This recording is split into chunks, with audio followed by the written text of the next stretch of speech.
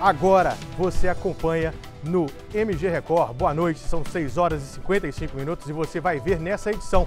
O Serviço de Inteligência da Polícia Militar rastreou um dos suspeitos de participar do tiroteio no Vale do Aço, que vitimou com um tiro na perna uma criança. Isso mesmo, o cerco foi na cidade de Ipaba.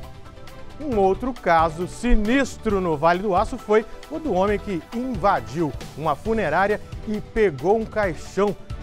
O que ele não sabia que dentro da urna havia o corpo de um bebê. O caso é tratado como vilipêndio de cadáver. Ainda no Vale do Aço, um homem foi preso com 10 barras de crack e mais de 50 mil reais em dinheiro. Em Caratinga, um flagrante. Acidente deixa motociclista ferido a desatenção no trânsito e muito mais.